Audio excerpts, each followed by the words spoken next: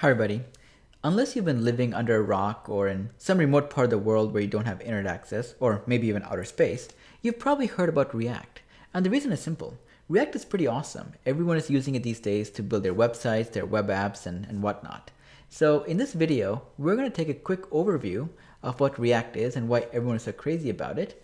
And we also use this video as a starting point for a series of videos that are going to help demystify React development so that you can build really cool apps using React as well. So without any further delays, let's get started. So to talk about React, let's talk about web apps first. Now I'm sure you'll agree that the web apps we use today look and feel much nicer than what they did back in the day, let's say five years ago or 10 years ago, or even if you really want to date yourself, back when web apps were displayed using nothing but Times New Roman font.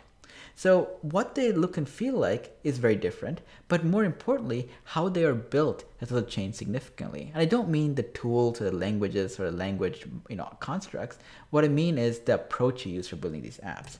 So to help highlight that, let's take an example. And this example is not a running example. It's a it's just some mock-ups of a simple page. Let's say this could be an app for a music browser where you have a search box, you have some categories, and you have some results that get displayed based on based on what you're doing.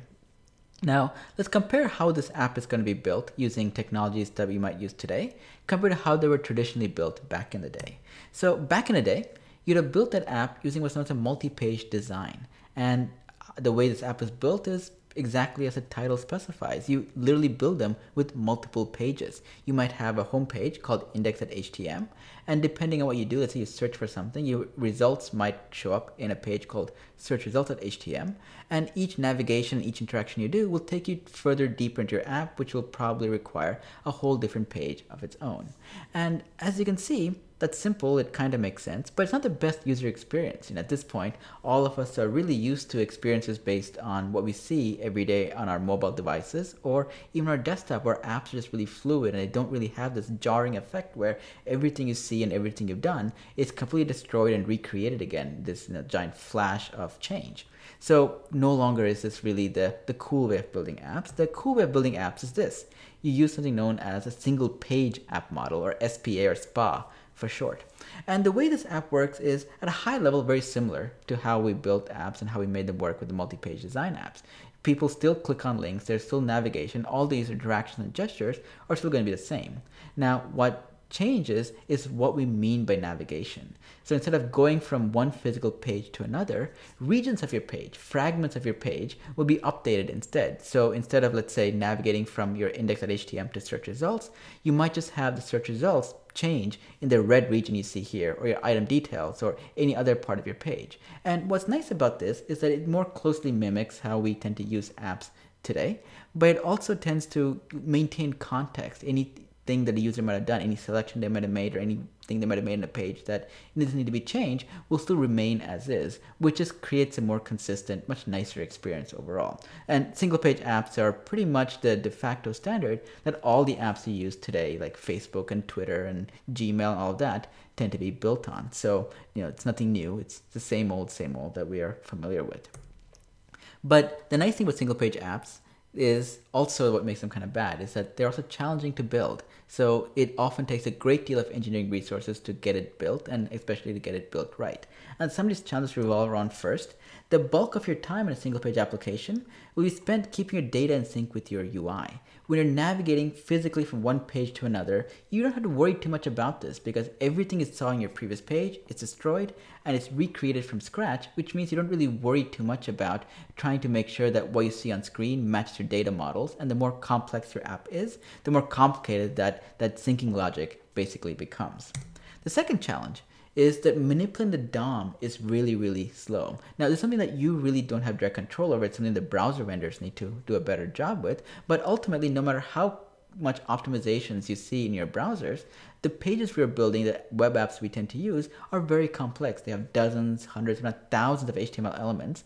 And you might think that making one minor change on one element is actually pretty fast, but in reality, even minor changes tend to have this cascading effect where they take up a lot of CPU power and take up a lot of time. It's one of the biggest reasons why websites and web apps tend to feel more clunky when you compare them to more native apps that you know people are using on various mobile devices.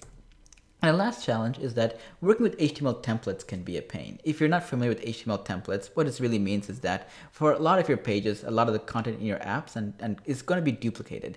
And instead of creating this markup over and over again, you just create a copy of it and you just use an in-memory version of it. And if you've used HTML templating in other languages like Mustache or Ember or other frameworks, you know that it could be easier. So HTML templates can be a pain if you've never used them. And if you are familiar with them, you know that there's some rough edges that we can definitely smooth out.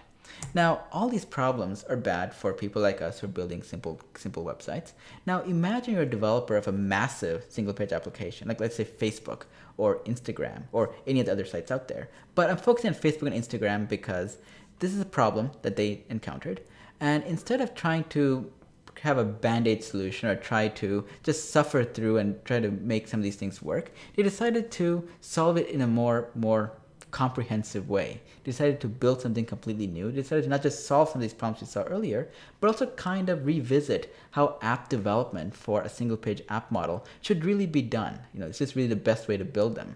And so the solution, as you can imagine, now, you know, insert orchestral music, heavenly angels singing, or whatever you use to indicate something awesome happening right now. And that thing is React.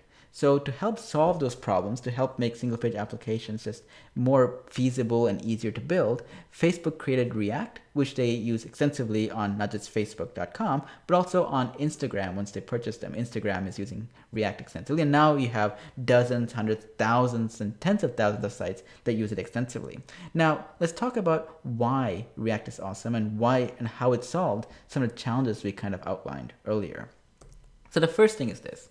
Managing state, we talked about, is, is a challenge in single page apps. With React, you don't worry about it at all. All you care about is what the final state of your app will be given any sort of interaction. So what this means is that you have a page, you have some content displayed, and all you need to define is the final state of that content. You no longer need to worry about how your content goes from point A to point B, what HTML elements to modify, or what data models need to be kept up to date in order to map to HTML changes that need to be done so that the user sees something new. The end state is all that React cares about, which is very similar to an advantage I called out about the multi-page design apps you're physically navigating from one page to another. Second, React provides lightning fast DOM manipulation. And the way it does it is by trying to figure out what the minimal set of changes are needed to make a change that you want to do represented on the screen. And this is done by using what's known as a virtual DOM, which is not by modifying the DOM directly, but by modifying an in-memory copy, an in-memory representation of the DOM, and then from there figuring out the most optimal path for each browser that you need to take to make these changes without causing all these performance implications that we kind of highlighted that DOM manipulation has today. And the final part, or not the final part, but one of the other next to final part, is how React allows you to create truly composable UIs. We talked about templating, we talked about just how to make some of your content more reusable. In React, it's really hard to not by default be forced into creating something that's more composable. So you might see some UI at the end that looks like what you see on screen, but each part of that UI, each individual component of it is actually made up of its own small piece that is its own self-contained unit. And we'll talk more about it in the in the future. You know, the what these are called known as React components, and we'll spend a fair amount of time talking about that. But just know that by default in React, you're going to be building UI that is more composable, which might seem painful at first, but in the long run will save you a lot of time, and it's going to be a very convenient way for building your app as well. And I'm going to say the most controversial change for last, and that is this. The way you define visuals in React is by defining them entirely in JavaScript. Now, I know that sounds really crazy and really complicated, but take a look at what the JavaScript we define looks like in the yellow box right there. You have some JavaScript, and what it looks like you're defining looks a lot like just HTML syntax. You have some divs, you have some h1 tags, and you have a closing div. And this HTML-like syntax has a name. It's known as JSX. It's React special flavor of HTML that is, I want to say 90% identical to the HTML you'd normally write, but there are some quirks that we'll cover later. But the important thing to notice is that you're defining your visuals in JavaScript using a format that is entirely familiar to you, which is just HTML. And the end result, what React does, is turn it into you know really messy create element and normal DOM APIs. But the way you define it is this very simple, very beautiful format called JSX. Now, here's why JSX is kind of advantageous. The first thing is very obvious. You're able to define your visuals and what you see on the screen. Use a syntax that's very familiar, which is HTML. But remember, you're still inside JavaScript. That means you can dynamically do all sorts of crazy things to your HTML that you wouldn't really be able to do otherwise.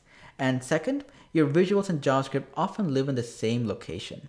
And this seems like a, a non-issue for a lot of us who have very simple content, but for more complex apps when you have dozens and dozens of visuals that all need to work together in some cohesive way, you'll need to, you'll, you'll appreciate what happens when you have all the visuals and all your JavaScript on the same location. And you know, it's one of the things that we need to see it to believe it. So the major takeaway is this.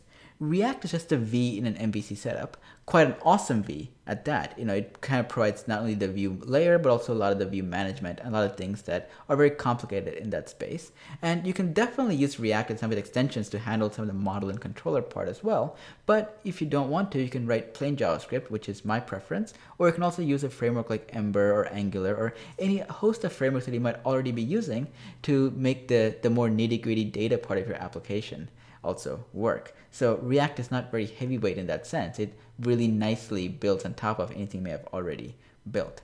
So there you have it, a, a lightning fast overview. Well, if you consider 15 minutes a lightning fast overview of what React is and some of the things it brings to the table that make it really unique and how it solves some of the problems with single page app development, which is why people really tend to crave it, tend to really look for it in some of their projects they're building. And so, like we mentioned, this is just the first video in a series of videos we're going to do where we're going to shift away from the overview and start actually writing some code, writing some markup, JSX, all of that to actually build more increasingly complex apps as time goes on. And so with that, if you need any help or have any questions, post on the forums at forum.kirupa.com where I and others will be more than happy to help you out. Of course, tell your friends and enemies if you like this video, hit subscribe to be notified of future videos that I tend to post. And if you want bite-sized updates on not just React topics, but on web development topics in general with the occasional cat video thrown in there, follow me at Kirupa.